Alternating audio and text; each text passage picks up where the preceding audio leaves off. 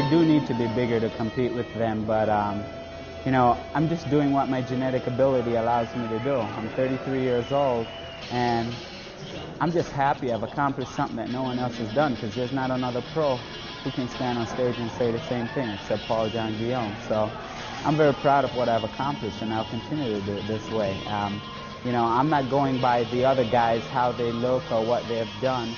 I'm going by being the best that I can be naturally.